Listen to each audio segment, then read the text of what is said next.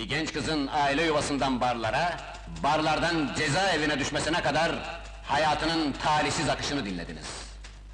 Başta sevdiği adam olmak üzere herkes bu akışı, bu düşüşü hızlandırmak için el ele vermişti. Bu zavallı kadın düşmesinde ne yapsın?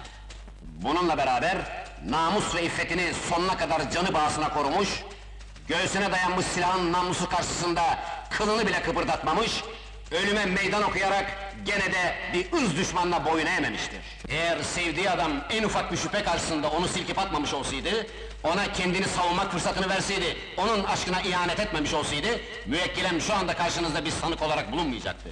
Onun suçu sadece sevmek, sadece inanmak ve güvenmektir. Siz suçlu arıyorsanız, suçlular bu hanımın felaketini hazırlayanlar, onu uçuruma itenlerdir. Bütün masumiyetiyle müvekkile mahkum olacak da, onu bu duruma düşüren asıl suçlular serbest mi gezecekler? Önce onları mahkum etmek gerekir.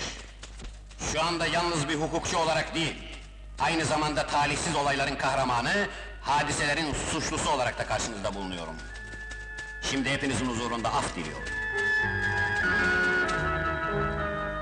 Affet beni Selma. Sen susma büyüklüğünü, idamı göze alma cesaretini gösteren yüce bir kadınsın.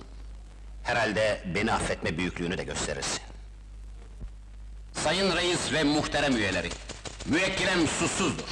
Yüksek mahkemenizin adaletine sığınarak beraatını talep ediyorum. Deliller, tanıkların ifadesi ve sanık avukatının savunmasında belirttiği hususlara dayanarak iddia makamımız sanığın tam ve meşru bir nefsi müdafaa ile iffet ve namusunu korumak için ateş ettiğinden suçsuz olduğu kanaatine varmıştır. Sanığın beraatını talep ederim. Gereği düşünüldü. İddia makamının talebine uyarak sanık Selma Alkan'ın beraatine oy birliğiyle karar verildi.